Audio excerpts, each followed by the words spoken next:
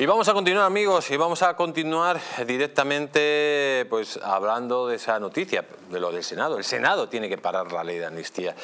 Dice esta noticia, otra opción para que el PP pare el golpe en el Senado. Ahí tenemos la noticia. Eh, es un artículo escrito por el señor Busader. Tenemos al otro lado de Sky a don Fernando Sancho. Buenas noches, don Fernando, ¿cómo está usted? No se le, oye, a ver si, si conectamos con él porque no, no se le oye. Eh, ¿Ahora? Ahora se lo oye perfectamente. Buenas noches, don Fernando, ¿cómo está? Voy a ver si ahora se me oye bien, ¿no? Sí. Don Fernando, ¿Se me oye? Sí, se lo oye perfectamente. Eh, estamos hablando de que la amnistía tendría que pararse en el Senado sí o sí por diversas razones. Y ya usted ha dicho claramente que hay informes, informes jurídicos que hablan que ratifican esa posible actuación del Senado. O sea, que no haya excusa para no actuar contra la amnistía en el Senado. Bueno, sobre todo es que mayor argumento que el informe demoledor, absolutamente demoledor de los tres letrados de la Comisión de Justicia del Congreso, eso es un balón centrado a la cabeza de los, de, bueno, directamente del Senado y del Partido Popular con su mayoría absoluta en la Cámara Alta.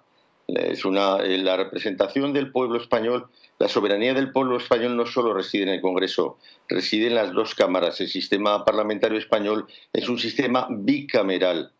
O sea, aquí no estamos diciendo que es que lo que haga el Congreso, no, porque si no, no necesitaríamos que fuera un sistema bicameral. Si el sistema parlamentario español es bicameral, que lo sea con todas sus consecuencias. Y en este caso, desde luego, después de ese informe de los letrados de la Comisión de Justicia del Congreso, pues es que eh, mm, tiene todos los argumentos eh, el Senado para eh, hacer, bueno, usted lo ha dicho perfectamente, usted es una persona perfectamente conocedora del, buen jurista y, lo, y conoce perfectamente la ley y por lo tanto lo ha explicado muy bien. El artículo que, ha puesto, que ha hecho referencia de Jorge Busade, que lo escribía en la Gaceta el otro día, es, mm, o sea, es impecable. Es que es totalmente impecable. Ya puede decir Miguel Tellado lo que, lo que quiera. Miguel Tellado es un licenciado en ciencias políticas y Jorge Busade es un abogado del Estado. No solo es un abogado del Estado, es un letrado, es un jurista de prestigio. Una persona que, está, que tiene una, un pozo eh, jurídico reconocido.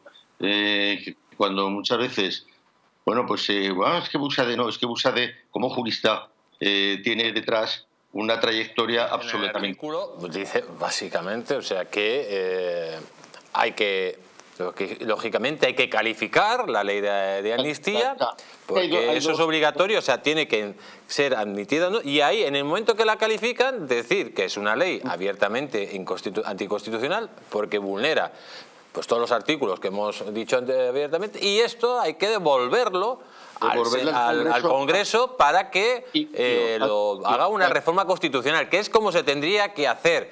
Pero, eh, claro, como nunca se ha hecho, pues mm, los, cobardicas ponen la excusa, como nunca se ha hecho, no nunca lo vamos a hacer.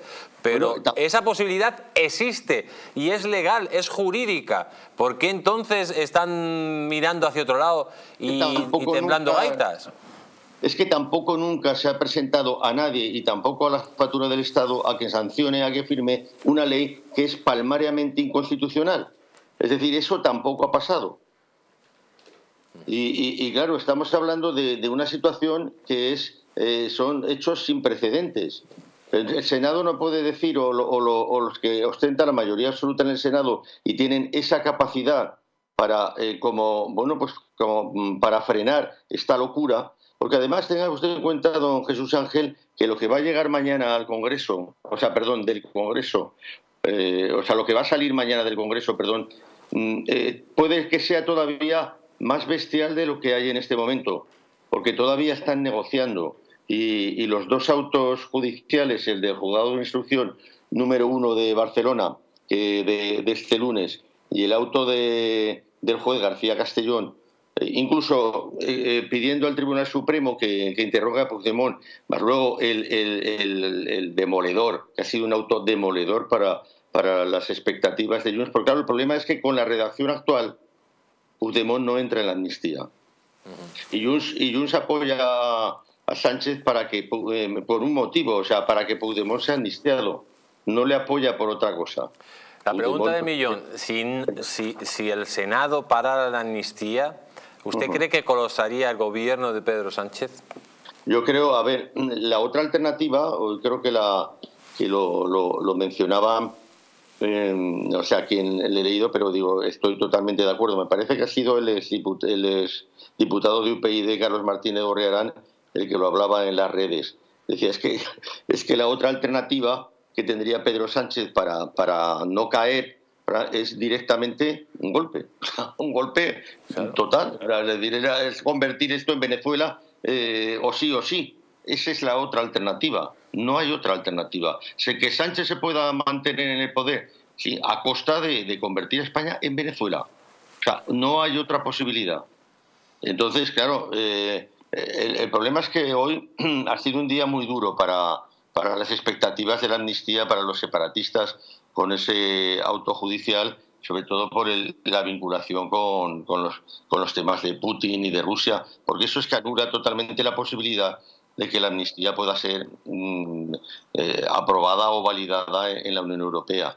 Es decir, la amnistía mañana puede salir, de, puede salir del Congreso siendo todavía una aberración más inconstitucional y más una aberración jurídica superior a la que hay en este momento, ¿no? Es, que ya es difícil, ¿no? Por eso quiero decir que ya no es solamente el Senado, el Senado, por supuesto, tiene que hacer todo para evitar eso. Y si el Partido Popular dice que no se puede inadmitir a trámite, bueno, vamos a ver, el Partido Popular, con la mayoría del Senado, acaba Señor eh, Sancho, lo que dice el reglamento del, del Senado, su artículo 36, lo que dice es que ellos sí tienen que entrar, la, tienen que registrarla, la, ley, y tienen que eh, calificarla.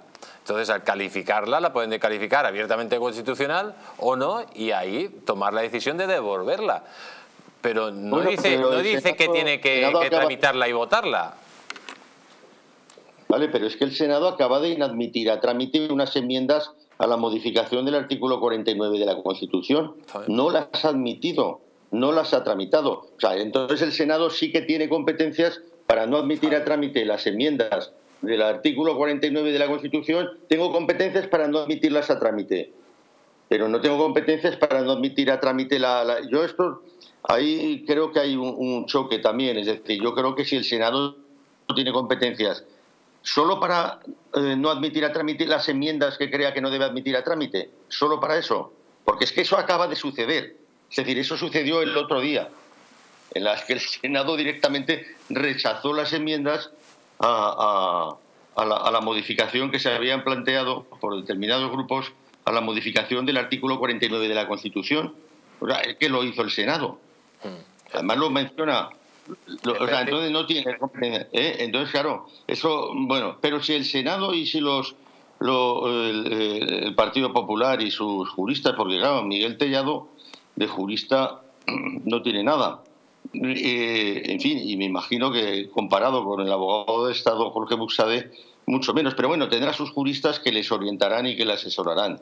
Están diciendo que en definitiva, pues que, que la ley hay que, que la ley de amnistía hay que admitirla, porque ah, con lo que dijo el otro día Tellado, dice, no, no, es que sale del Congreso y como sale del Congreso no tema. Pero vamos a ver, eh, en la mesa del Congreso los representantes del Partido Popular en la mesa del Congreso votaron no admitir a trámite en el Congreso la ley de amnistía. Exactamente. ¿Por qué no van a votar en el Senado? Ahora en el Senado tienen que votar sí, pero el otro día votaron que no admitir las enmiendas que planteaban diversos grupos para la, para la, modificación del artículo 49 de la Constitución. Entonces, de verdad, yo me estoy empezando a perder o estoy empezando a pensar que, que ya está bien.